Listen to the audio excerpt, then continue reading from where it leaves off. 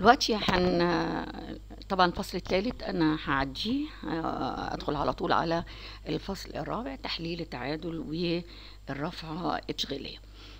تحليل التعادل آه، هو عبارة عن آه، تحليل أنا بستخدمه في التخطيط المستقبلي بيوجد لي العلاقة ما بين الربح والإيرادات والتكاليف ومنه بطلع بحاجة اسمها نقطة التعادل حاجة اسمها حجم التعادل بالكمية أو التعادل الكمي حاجة اسمها التعادل القيمي أطلع حجم التعادل اللي بيحقق لي ربح مستهدف أو قيمة التعادل بتحقق لي مسته- مستهدف أطلع حاجة اسمها هامش الأمان أطلع حاجة اسمها نقطة تماثل التكاليف. بيهمني طبعا في الأول التعادل معناته إيه أو نقطة التعادل بتبين المستوى اللي بتتعادل فيه الإيرادات المبيعات مع كل التكاليف اللي عندي التكاليف عندي آه، اللي هي تكاليف متغيرة وتكاليف ثابته ببدأ الأول عشان أشتغل على التعادل بجيب هامش المساهمة عبارة عن ال- الإيرادات أطرح منها التكاليف المتغيرة. طب للوحدة ده ده ال- اللي أنا قلته دوت للكل لكن للوحدة الواحدة سعر بيع الوحدة ناقص التكلفة المتغيرة للوحدة. لو هبدأ بحجم التعادل بالوحدات يعني التعادل الكمي عبارة عن بسط التكاليف الثابتة مقام هامش المساهمة الوحدة أو ممكن أسميه ربح حدي للوحدة.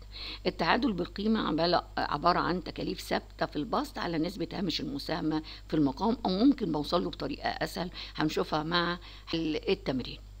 اللي هي هضرب حجم التعادل بالوحدات بسعر البيع واطلع على طول. آه، حجم المبيعات بيحقق لي الربح المستهدف بسط التكاليف الثابتة زائد آه، صافي الربح المستهدف اللي إحنا عاوزين نوصل له. آه، ال- المقام هيبقى هامش المساهمة للوحدة أو ربح حدي للوحدة. طب عشان أطلع القيمة هضرب الحجم في سعر بيع اللي أنا طلعته ده في سعر بيع الوحدة.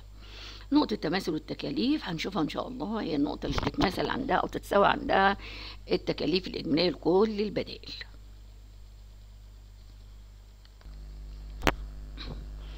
آه، بنبدأ نشوف آه، تمرين على تحليل تعادل نقطة تماس التكاليف. عندكم تمرين صفحة 114 أنا حاولت إن أنا أجمعهم كلهم مع بعض بحيث إن أنا بعدل التمرين في صياغته آه، أدي توفرت بيانات البادلين ألف وب كمية المبيعات بالوحدات مخططة 16000 16000 سعر بيع الوحدة 20 جنيه 20 جنيه. التكلفة المتغيرة للوحدة 8 و12 تكاليف الثابتة تسعين ألف تمانية وتلاتين ألف. عاوز يحسب التعادل كمي وقيمي يعني إيه تعادل كمي؟ ح- حجم المبيعات اللي بتحقق التعادل أو عدد الوحدات اللي بتحقق التعادل اللي عندها لا تكسب الشركة ولا تخسر.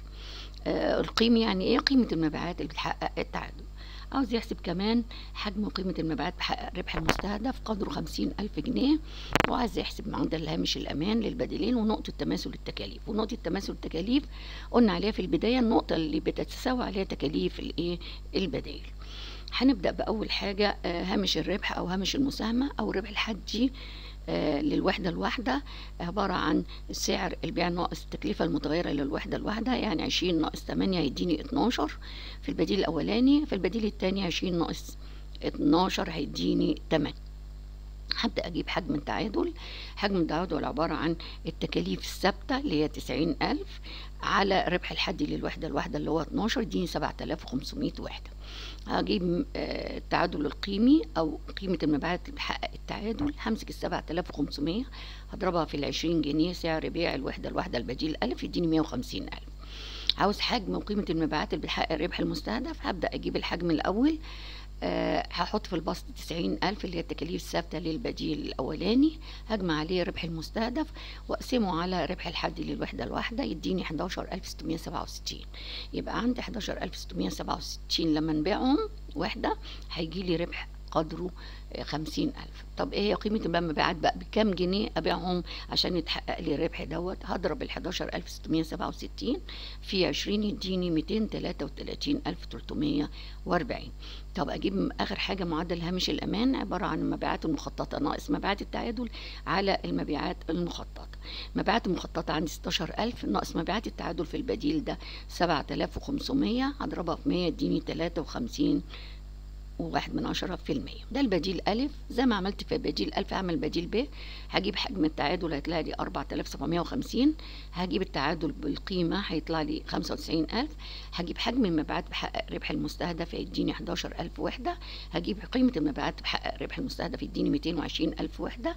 هجيب معدل هامش الأمان هيديني سبعين وتلاتة من عشرة في المية. واضح إن هامش الأمان بديل ب أفضل.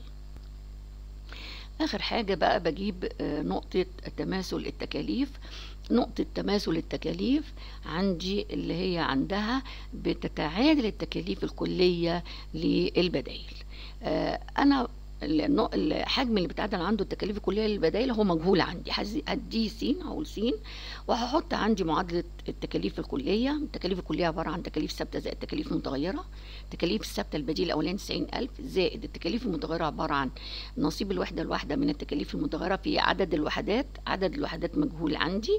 الوحدة الواحدة عندي في بالنسبة للتكاليف المتغيرة 8 في البديل الأولاني البديل الثاني 12 وتكاليفه الثابتة 38 حاجة طبعا هجيب السينات في طرف والجنيهات في طرف تاني ولما انقل حاجة من طرف لطرف بنقلها بإشارة سالبة.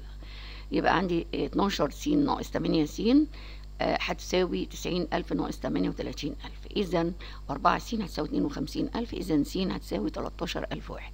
يبقى نقطة تماثل التكاليف هنا تلاتاشر ألف واحد. يعني مستوى النشاط عند 13 ألف وحدة مستوى النشاط ده هتتساوى التكاليف البدائل.